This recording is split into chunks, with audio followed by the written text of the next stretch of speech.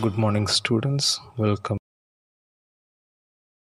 In this class, we are going to discuss protein folding algorithm and structure prediction.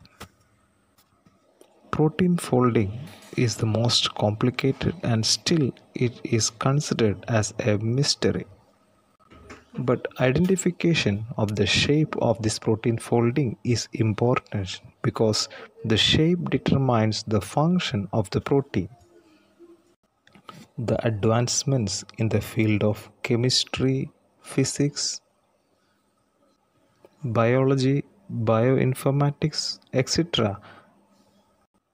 enables us to predict the protein structure to a certain extent we have studied that the structure of protein can be explained as primary structure, secondary structure, tertiary structure, and quaternary structure. Primary structure is as the sequence of amino acid, then secondary structure in the form of alpha helix and beta helix mostly tertiary structure is the overall three-dimensional shape of polypeptide chain. Tertiary structure is the active form of complex of two or more polypeptide units. Then quaternary structure occurs when multiple polypeptide associate to form a functional protein as well as the protein to protein contacts that can occur in multi enzyme complexes. In this class, we are going to discuss an algorithm for protein folding. We are going to discuss Chou-Fasman algorithm and this Chou-Fasman method takes a straightforward statistical approach for the prediction of the secondary structure that is alpha helix and beta helix will be predicted using this Chou-Fasman method. Before learning in detail about the algorithm, let us quickly revise the structure of alpha helix and beta sheet. The polypeptide chain begins to assume local 3D conformations of amino acids that are in close proximity with each other in their linear sequence. Secondary structure includes alpha helices and beta sheets. Secondary structure specifically involves interactions between residues that are near each other along the polypeptide sequence.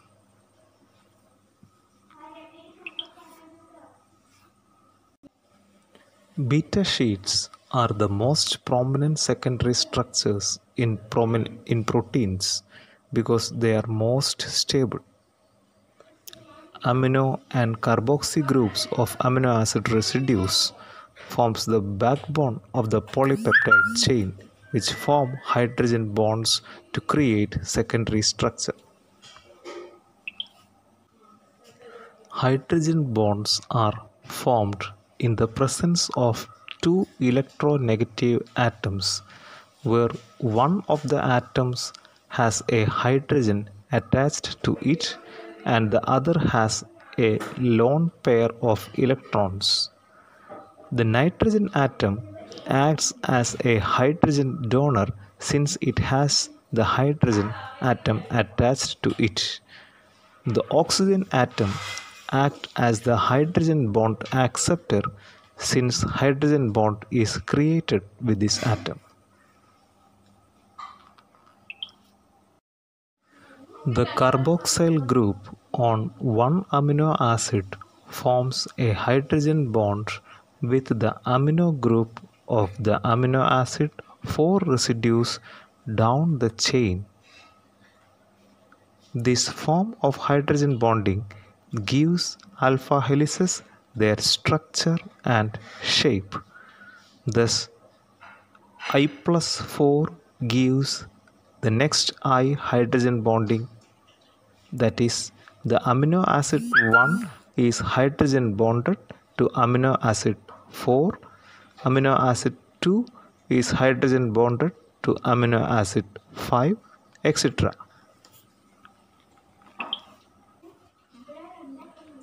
in an alpha helix of all amino acids side chain face the outside of the helix because this is the most energetically stable arrangements. Arrangement now let us discuss the distance between turns the distance between turns in the alpha helix is called the pitch and is 3.6 amino acid residues and measures 5.4 angstroms. Each amino acid in the helix rotates it 100 degrees. So to complete a full form of that is 360 degree 3.6 amino acids must be present. So in an alpha helix with 10 turns, 36 amino acids exist. Favorable amino acids in alpha helices include M, methionine, A, alanine, R, arginine, K lysine and L leucine. The side chains of these amino acids are relatively small and relatively simple, which would prevent the happening of the steric clashes.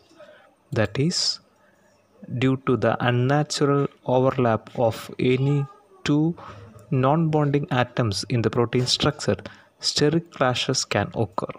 So these arrangements of these types of amino acids prevent steric clashes. There are some unfavorable amino acids in alpha helices. They become unfavorable because of the large size or because of the ionic charge nature or because of the shape of the side chains which can destabilize the helix shape. The type of amino acids which are unfavorable are proline, glycine, serine, aspartate, asparagine, threonine, valine, and isoleucine. Here, the proline and glycine is considered as helix breaker because helix breaker has so many angles of rotations it cannot form ring structure proline does not allow for 100 degree rotation normally proline is found at the beginning or end of the helices because proline is a good amino acid to begin an alpha helix because of the rigidity of its structure.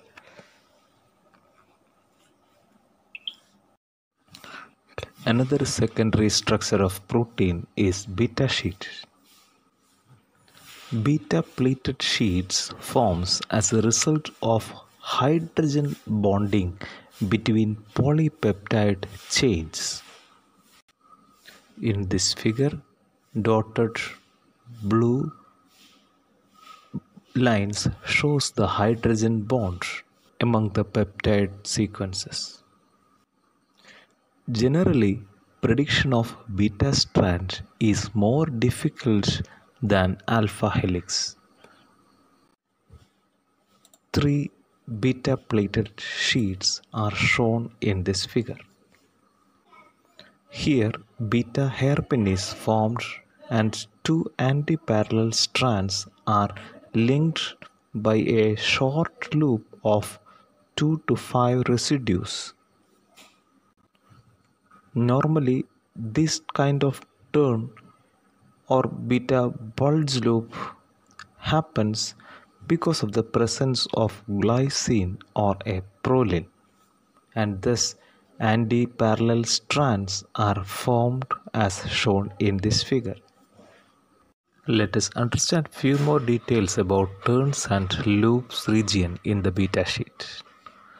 Loop regions typically connect different combination of secondary structures and they may be flexible allowing conformational change in protein.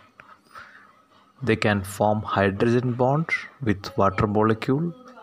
Loops that connect two adjacent anti-parallel beta strands are called hairpin loops or reverse turns. Such loops leads to the reversal of direction of peptide polypeptide chain. These turns facilitate the folding of a protein into a compact structure by reversing chain direction into a central region. When we discuss the secondary structure of protein, in, in addition to alpha helix and beta pleated sheets, another possibility is random coils among the sequence of amino acids. This random coil structure do not help us to a consistent secondary structure or sometimes it disrupts the alpha helix or beta sheet shape. These coils forms due to the electrostatic repulsion. We are going to understand the protein folding structure prediction of secondary structure. Chou-Fasman proposed a algorithm in 1978 to predict the structure of protein. The Chou-Fasman method takes a straightforward statistical approach to predicting secondary structure. Each amino acid is assigned several conformational parameters PA, PB and PTurn. These parameters representing the propensity of each amino acid to participate in alpha helices, beta sheets and beta turns respectively and were determined based on observed frequencies in a set of sample proteins of known structure. Another name of conformational parameter PA, PB and PTurn is preference parameter. A table of prediction value or parameter, preference parameter for each of 20 amino acid in alpha helix, beta plate and turn already calculated and standardized. To obtain the prediction value, the frequency of amino acids in the structure is divided by all the residues in the frequent in, in the proteins. So the propensity values PA, PB and turn indicate the strength of each amino acid to become either alpha or beta or turn in the residue. In addition, each amino acid is assigned four turn parameters f of i, f of i plus 1, f of i plus 2 and f of i plus 3 corresponding to the frequency with which the amino acid was observed in the first, second, third or fourth position of hairpin turn. The resulting table of Chou-Fasman parameters is shown in this table for 20 common amino acids.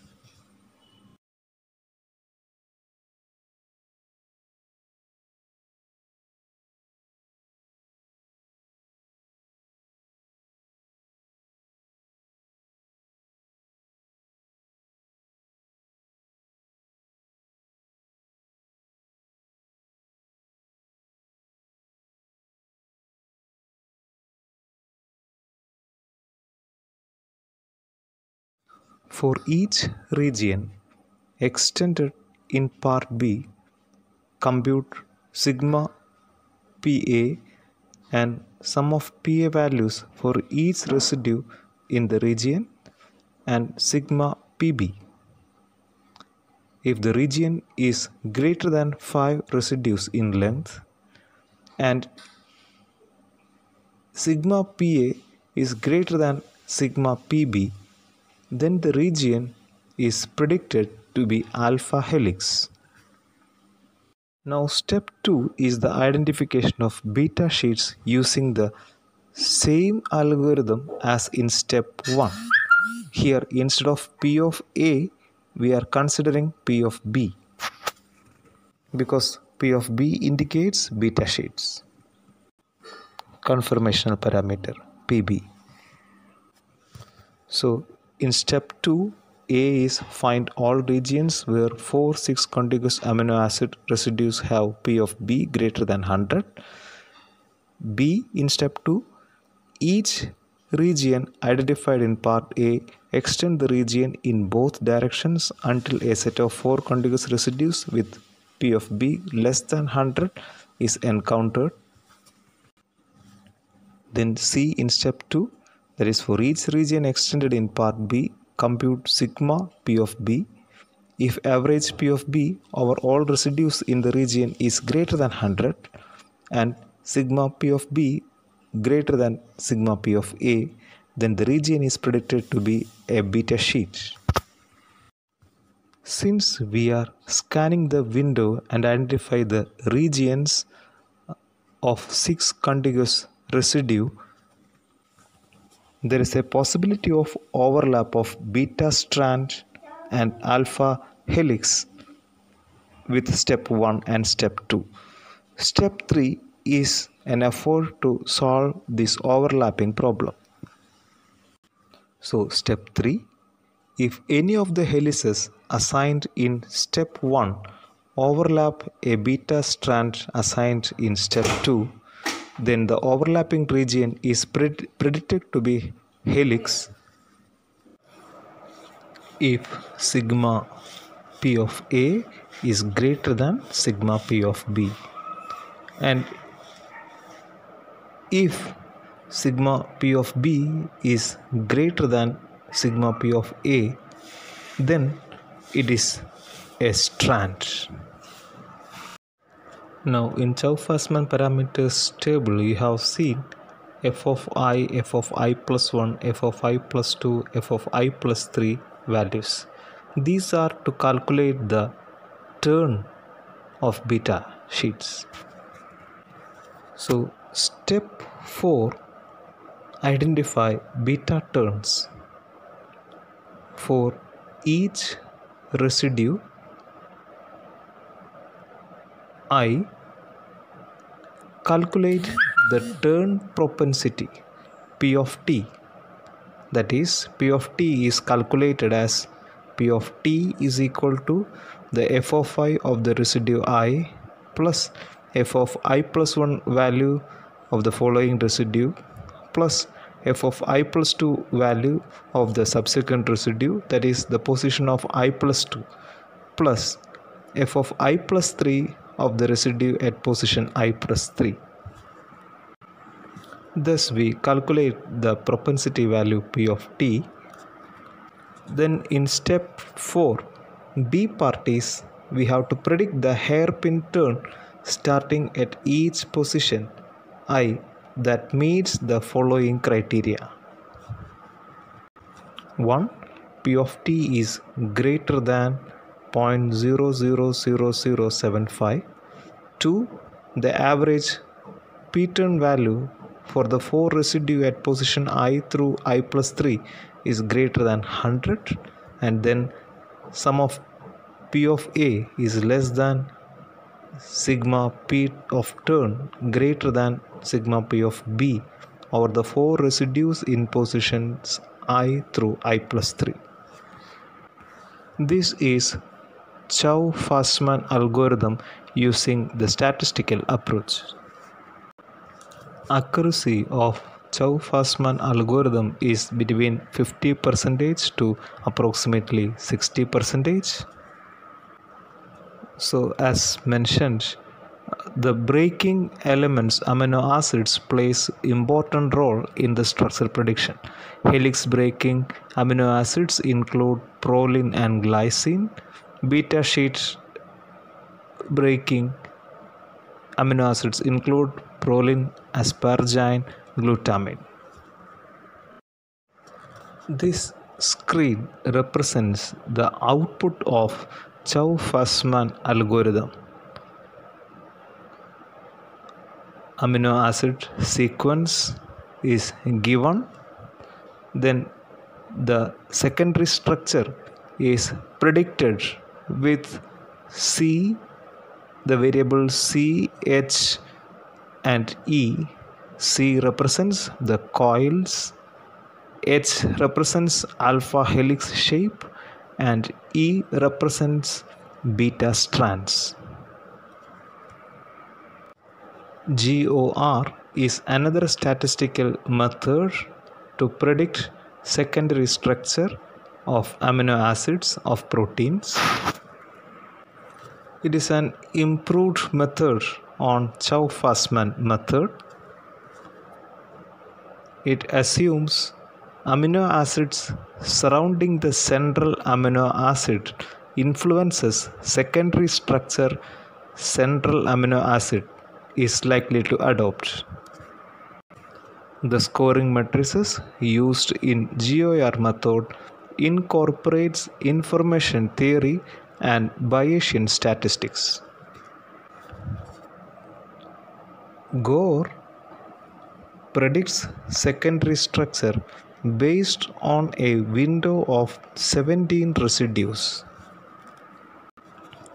For each residue in the sequence, 8 N terminal and 8 C terminal positions are considered along with the central residue.